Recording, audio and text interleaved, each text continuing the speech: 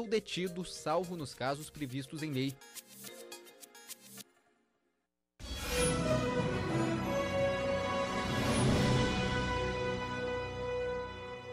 Janeiro está recebendo a 22ª Conferência Nacional dos Advogados, o maior evento jurídico da América Latina, que neste ano deve reunir 20 mil pessoas.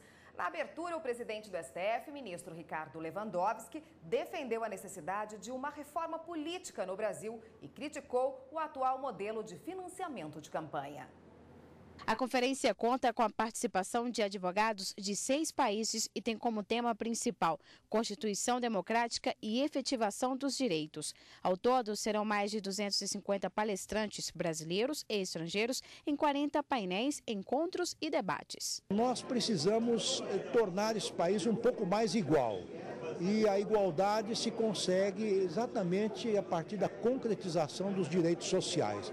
Portanto, a conjugação desses dois temas, de um lado a Constituição e de outro lado os direitos sociais, me parece que vão permitir um avanço muito grande é, para o futuro do Brasil e, sobretudo, para a integração de todos os brasileiros numa nação única, solidária, fraterna e mais justa. O evento foi aberto com a palestra do ministro do STF, Luiz Roberto Barroso. A conferência termina na próxima quinta-feira.